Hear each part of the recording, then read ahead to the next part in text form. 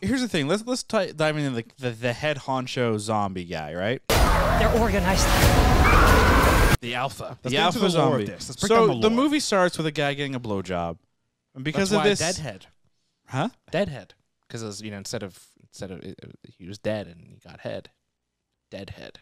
So anyway, they run. They're all deadheads. they run It it- works on multiple levels. So they run into a military truck, and then this zombie, this head honcho, runs out.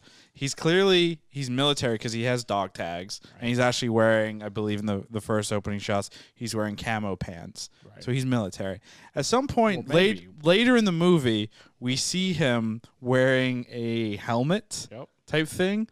Um, my theory And a cape. and a cape. You got My theory is that he is basically supposed to be uh, Captain America But as- gone so- wrong. So a super soldier gone wrong, right? Yes. And did that. And then there's a lot into that. The military is transporting him. Yep. Um, There's also the the theory, at least from the two characters driving the trans the first car in the transport, that he could be from an alien. He's an alien, right? Because they're Oh, they're coming from Area Area 51. 51. Yeah. There's aliens. Zack Snyder in an interview. Now maybe this is him throwing people off, but even mentions like, what is are they from a different world? Like he threw that out in an interview to kind of feed flames to that theory.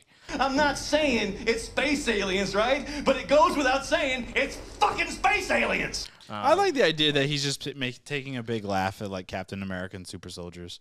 Maybe. I mean, that to me makes it more ties it back to Earth and everything, and but also you can you can utilize with that government the fa- you know the failures of government.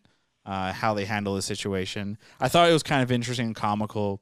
What was it? The president of this army of the dead world wanted to nuke um, Las Vegas Vegas July July 4th. 4th because the fireworks would be so spectacular. Well, um, we know the government. The real reason that they're in there is not for the money. It's for to get the the blood sample Or the head. the head Yeah. of these alpha yeah. zombies, so they can control. fast They can control it, right? So it's almost like Create they're, their own army. they're recouping Yeah. what their their assets that they essentially lost, and you know destroyed Las Yeah, Vegas. because it was it Bly Tanaka. yes, Uh, he you see that shot where he's talking to generals or some military folks. So right.